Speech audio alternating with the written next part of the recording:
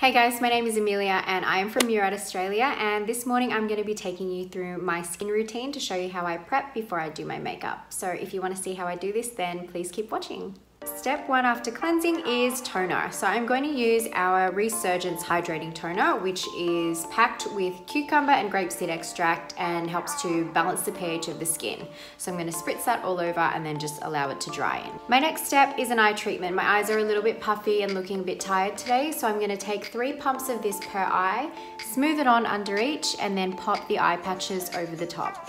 So this eye treatment is really good for depuffing under the eyes. It also really helps to brighten up the under eye area and also help to firm and lift the skin. So it's really, really good underneath concealer, but also if you just wanna give your eyes a boost and wake them up before you start your day.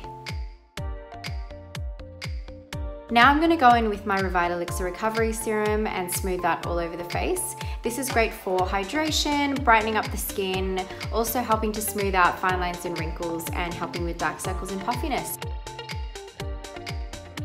To moisturize, I'm using my Nutrient Charged Water Gel. This is an oil-free moisturizer that really helps to hydrate and repair the skin barrier. For my last step, I'm going to be taking my City Skin Age Defense SPF 15.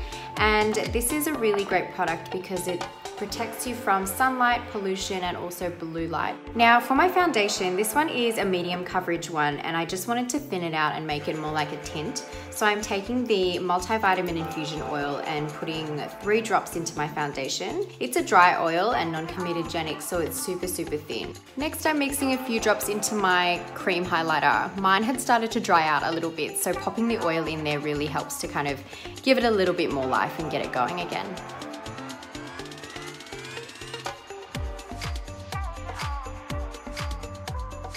So here is the final look.